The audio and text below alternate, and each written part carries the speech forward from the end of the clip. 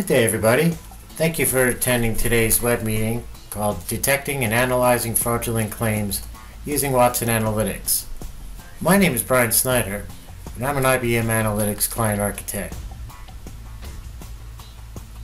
In today's demonstration, we're going to take the role of a claims investigator, analyst, or manager interested in analyzing claims history and ways to reduce claim fraud. By using IBM Watson Analytics, all those mentioned will be able to quickly and easily gain historic and predictive insights without coding, modeling, and most importantly, without the assistance of anyone else but themselves. This is by no means the wild wild west. Administrators still have security and control over the flow of data, only without the complexities and time constraints often associated with reporting and analysis projects. Let's jump in. Let's take a look at the data set we'll be working with today. It's a typical claim set of data that has the amount of the claim, days to incident, whether or not the claim was fraudulent. Let's go into Watson Analytics and bring it there so that we can analyze it and understand where to look next. Here you'll see with Watson Analytics, you can explore, predict, assemble, look at social media, or refine your data sets. All the information that is in Watson Analytics is organized into personal folders or shared folders. Today, we're going to be working with this shared folder called Claims Fraud. Let's click Add to add this data source to Watson Analytics, already done in advance. And to analyze that, we just click on its data source and we're presented with a list of questions.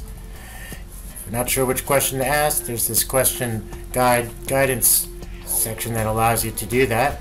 We can go back and actually in this case just choose the fourth question, which has to do with what is the breakdown of claim amount by fraudulent and incident cause. Uh, just by hovering over these data points, we can quickly identify which types of claims had high amounts of fraud. Let's actually take this exploration, save it in a shared location, so that others or myself can use it again later. Notice now that it's been saved, it can be easily rerun from that location. At the bottom, Watson Analytics exposes all the raw data that's easily sortable. It gives you infographics as to the distribution of the data. In this case, if we sort on top claims, we can see which claims were the most and if they were fraudulent or not. The bottom allows you to filter easily by using the filter bar, or you can just filter on the visualization itself. I noticed this dataset is missing a calculation called average claim count. Let's go ahead and use Watson Analytics to, in order to create that calculation. In the lower left, I'll just choose calculation, call it average claim amount, and take the total amount of the claims and divide it by the total policy claims.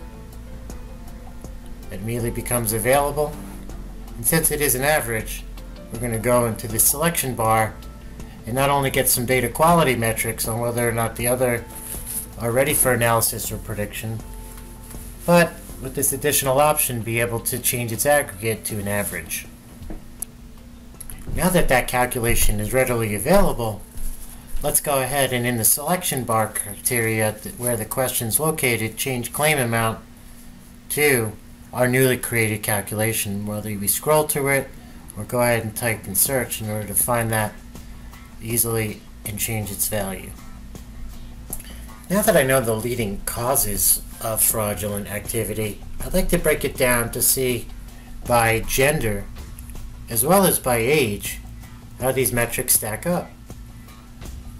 By using Watson Analytics, I just click and point and add the additional fields and I'm immediately able to gain insight into which types of claims within gender and age are actually most fraudulent.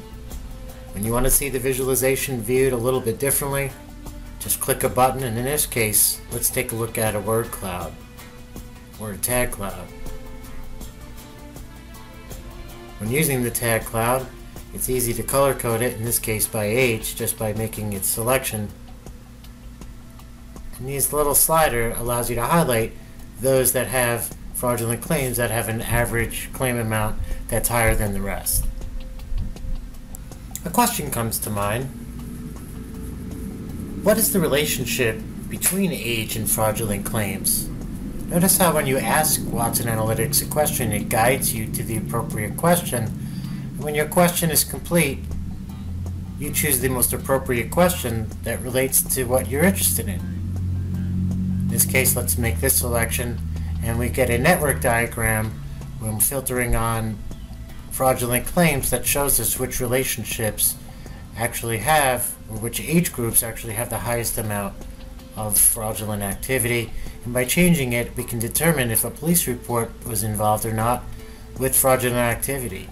Infographics along the top allow us to add in pieces of information that we were not aware of. By saving this and sharing it with e users becomes very easy.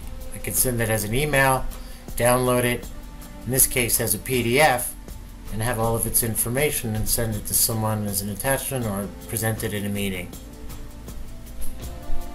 Building reports are somewhat biased. Although we found some leading reasons into why fraudulent activities occurred, how can we statistically prove it to our counterparts that we've made a right decision? By choosing Watson Analytics' predict function and choosing the field fraudulent as its target, we can create a type of prediction that will provide us the right statistical background. In order to do that, we first go through each of our data types and make sure that they're marked accordingly for predictive analysis. In this case, a claim number or a customer number is more of a record ID and shouldn't really be considered as an attribute that helps us to understand the reasons why fraudulent activity is created. Once we click Create, Watson Analytics Predict capability comes back with a bullseye. Those bullets closest to the middle are the leading contributors or predictors to fraudulent activity. In this case, we learned that age and a few others that we didn't even consider are part of that uh, predict. The number one leading predictor was police report. In this case, when wasn't one wasn't created, gave a 77% predictive strength. That proves that shows that it's a leading indicator. Days to incident is also a leading indicator, and when questioned about the statistical details, it's just a simple click of a button. No need to have a data mining degree in order to, take advantage of data mining and predictive. When looking at two at a time correlation analysis, we learned that sunny days where one or less claims is created was a likely contributor. And when looking at all fields at once, this, this decision tree shows this the number one combination when all fields are involved uh, is the leading indicator as to why claims are fraudulent. Number one here is uh, when we look at this summary pane, let's go ahead and change this to yes there's a 49% confidence that days to incident less than 420 in an unknown police report is a leading predictor to fraudulent activity.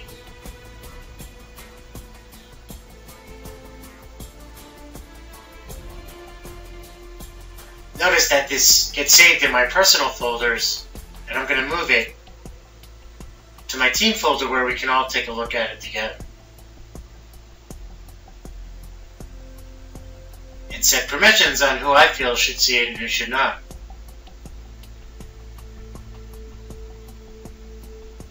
Let's discuss the social media project portion of Watson Analytics that provides you with topics and themes such as claim fraud and fraud in insurance over certain time frames and languages from such places as Twitter, forums, blogs, videos, and the others you see here.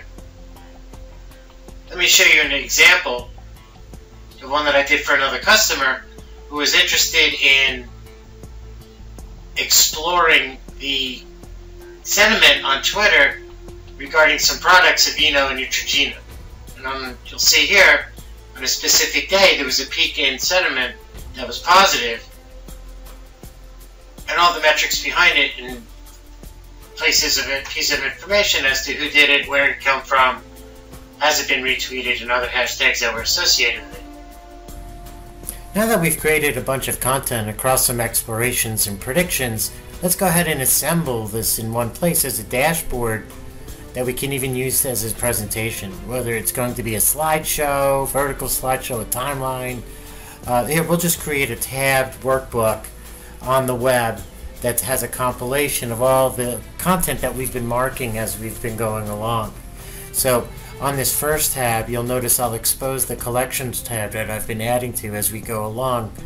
Uh, let's bring this one collection out here. Uh, it was that word cloud we created a little bit earlier, and notice the data set is still retained and still fully functional. And in this case, we were able to, you know, filter on males that were uh, that had uh, fraudulent activity, and still have the ability to change some of those parts of the question. On the second tab, we'll just use another freeform layout, and we'll add our predictive analysis. Notice how it just snaps right into play, and really within a few clicks, um, you know, I can I can take that, organize it, save it in a public place for others to use, like we saw a moment ago, or even click this share button at the top um, and send it to them as a link um, or a way of you know getting it as an attached email or even downloading it um, as a PowerPoint or PDF like we saw earlier. This concludes today's web meeting where we take took the role of a claims investigator, analyst, or manager, and was able to easily use Watson Analytics to claim, look at claims history and try to identify different ways fraud has been created. I'm Brian Snyder, IBM Analytics Client Architect. Thanks for joining.